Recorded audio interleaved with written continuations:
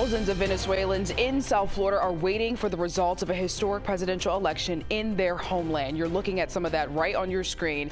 It could be one of the, or the end rather, of almost 25 years of socialist rule in Venezuela with Nicolas Maduro holding the presidency for the last 11 years. Thanks so much for being with us tonight. I'm Chelsea Jones. Those South Florida Venezuelan community members cannot vote in these elections. They've gathered at two strategic points tonight, one in Doral and the other at Jose Marti Park. CBS News Miami's Yvonne Taylor is joining us from there. Uh, Yvonne, paint a picture for us. How is the atmosphere where you are? This is overwhelming, Chelsea. I can tell you optimism prevails among the Venezuelans who see these elections actually as an end of an era.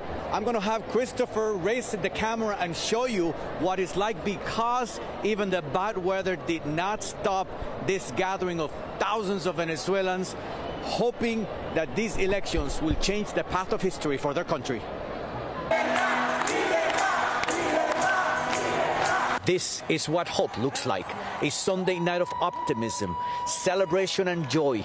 A community that sees the end of years of socialism in their native Venezuela people have lost fear. It's still too early to kind of call it, uh, you know, a complete victory. Exit polls showed that opposition candidate 74-year-old Edmundo Gonzalez was strongly ahead of socialist strongman Nicolas Maduro, who aims to extend his presidency to a third term. Early afternoon numbers released by polling firm Meganalysis had Gonzalez ahead with 65% of the votes and Maduro obtaining only 13%.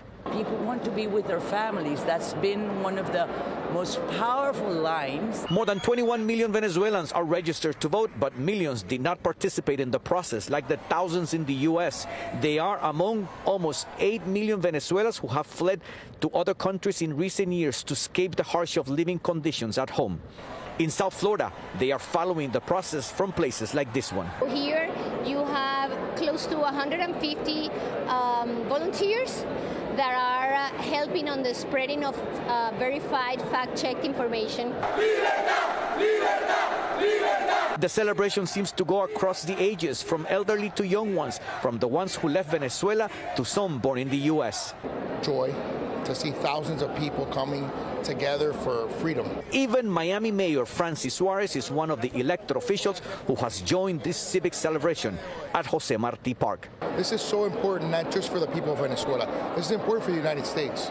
We see an immigration crisis, and it is in many, many respects impacted by poverty in the home country. Not only Venezuelans attended this gathering, also Cubans and Nicaraguans who see a ray of hope for their nations.